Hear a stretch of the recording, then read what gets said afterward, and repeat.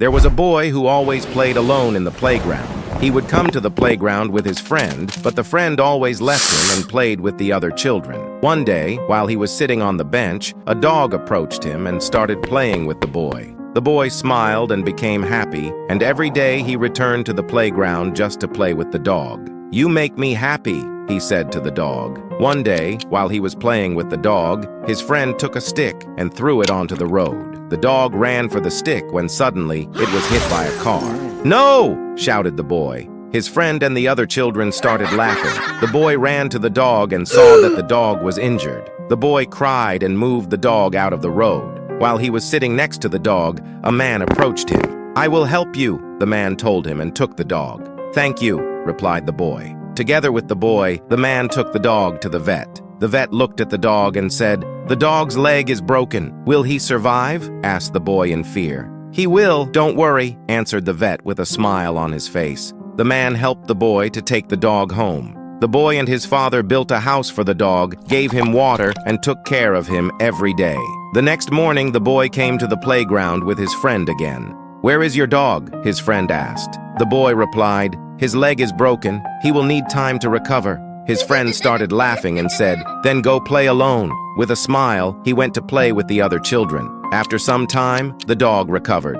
The boy was very happy, and together with the dog, he came to the playground to play. He saw his friend on the playground, but the friend had an injured arm. The boy approached him and asked, What happened to your arm? I fell, but it doesn't hurt, replied the friend. I am sorry I threw the stick and hurt your dog. The boy didn't say anything. Do you want to play together? The friend asked. The boy thought for a second and answered, Yes.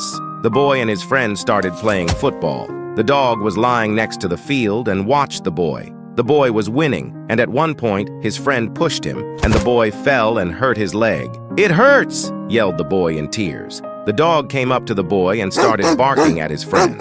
The friend started laughing and said, I didn't want to play with you. I was just kidding. I wanted to hurt you, and left with a smile again. The boy could not move his leg, and then he heard a familiar voice. I will help you. When he looked at the man, he saw that it was the same man who helped him with the dog. Thank you very much, said the boy. The man took the boy to the hospital, leaving the dog in front of the hospital to wait. The doctor looked at the boy and asked him, How did you fall?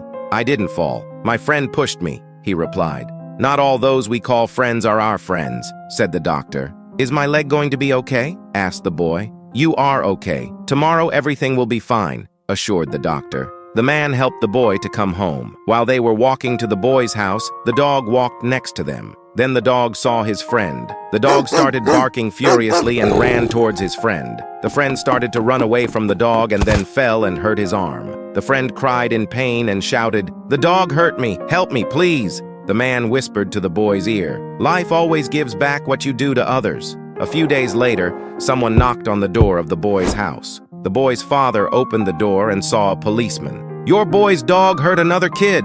The father was shocked. We will have to take your dog away, said the policeman. Why did your dog hurt your friend? The father shouted angrily at the boy. The next day, the boy sat in his room and cried. I miss my dog, screamed the boy. After a couple of weeks, the boy came to the playground again. He sat alone on the bench and thought about his dog. At one point, a man appeared behind him. Turn around, he said. The boy turned and saw a man holding his dog.